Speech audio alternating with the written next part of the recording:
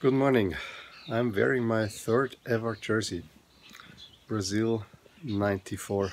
Um, I might show you later a little bit more about that. But now uh, let's get to the latest calculations with uh, both favorites winning. Uh, we just can't expect that Brazil is more dominant. And yeah, let's see how the performance index for Japan also fell and maybe Brazil was rising. Just let's have a look. So, we see indeed Brazil rose. They had to win Mexico. Now they're the big favorites again. Uh, their percentage rose by a full 5%, while France fell by more than 1%.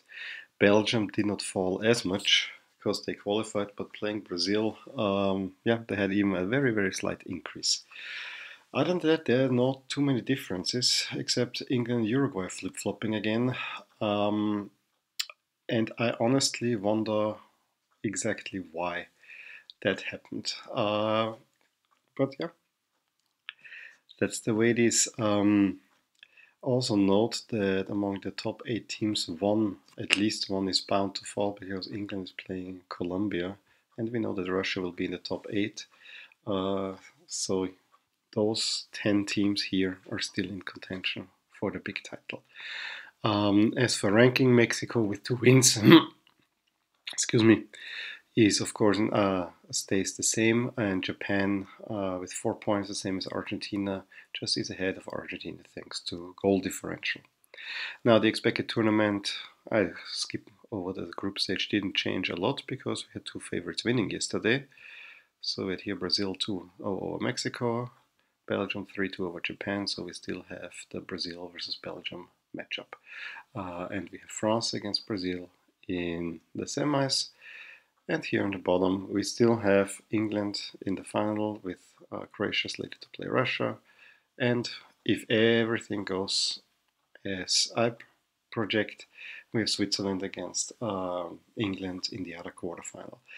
Um, these are going to be interesting games, um, especially since it's again very uneven. Those two teams, England and Colombia, are rated ahead of Switzerland and Sweden. So um, whoever wins is favored here. Okay, let's look at the performance index. Indeed, Japan fell a little bit, but not uh, enough to lose third place. So they have a 0.724 uh, final index, whereas uh, Russia and Croatia still can uh, this still can change based on their performance. Um, what else? We have Belgium stayed actually also the same, but um, now slightly better ahead of Korea and oh, da, da, da, we have here Brazil moved up two spots um, you will see Brazil as they progress, they will get slowly, slowly better. I think they need to reach at least the semifinal to get a substantial index. In this range here, right around Iran, Brazil, Tunisia, Serbia, and Senegal, this is basically a performance as roughly as expected with Senegal slightly less and the others slightly better than expected so far.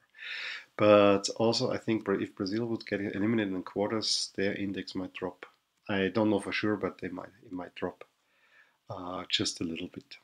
Well, that was that. Again, not many changes. We may see more uh, after the two last round of 16 matchups, and I'm looking forward to show you my quarterfinal projections for tomorrow. Up until then. If you enjoyed this video, please hit like and subscribe to my channel. If you've already done so, I would like to thank you for your support. It is very much appreciated. Also, check out the accompanying blog at the link provided in the description below and at the end of this video. Thank you for watching and until next time.